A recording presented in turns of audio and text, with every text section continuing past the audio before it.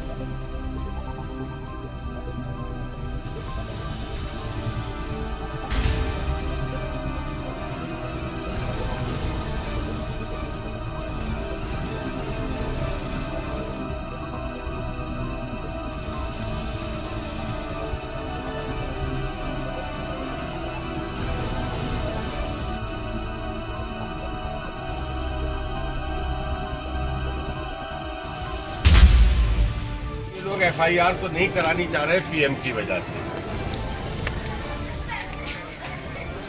ये यहाँ, नवाबपुरा में गुड़िया बाग है एक जगह। हाँ तो बच्चे मर गए, बाकी जख्मी हैं, हॉस्पिटल में हैं। अनु तो इसमें मदद तो सहायता तो करवाएँगे आप तहसील से।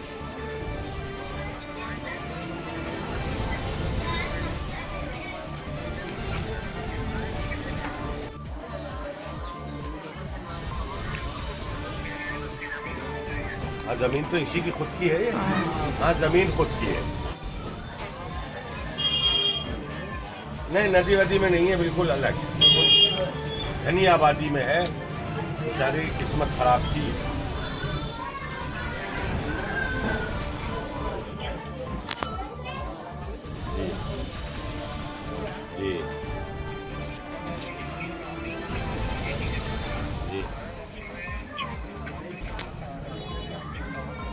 चलिए आप आप आप इसमें करवाइए बस, इसमें बढ़िया करके इसका नहीं, पूरी पूरी भीड़ सुन रही है हैंड फ्री पर बात कर रहा हूँ, पूरा मोहल्ला इकट्ठा है।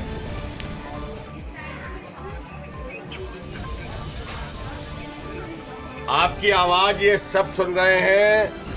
डीएम साहब की आवाज़ इतनी कमज़ोर नहीं है कि नहीं सुन पाए हैंड फ्री पे पूरी भीड़ में बात कर रहा हूँ। डीएम साहब कह रहे हैं 24 घंटे के अंदर अंदर मुख्यमंत्री राहत कोष से अभी आपकी मदद मिलेगी इसमें मकान वकान की सब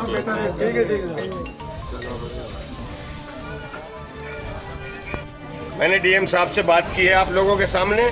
डीएम साहब ने आश्वासन दिया है कि 24 घंटे के अंदर अंदर मरने वालों को भी सहायता मिलेगी मुआवजा मिलेगा और मकान पूरा सरकार की तरफ़ से प्रशासन की तरफ़ से 24 घंटे के अंदर अंदर मकान बहुत पुख्ता करके बनाकर देंगे डीएम साहब। और मैं आपको आश्वासन दे रहा हूँ आपका विधायक गूँगा और बहरा नहीं है। मैंने मैंने अपनी ट्रेन छोड़ दी चार बजे वाली थी अब।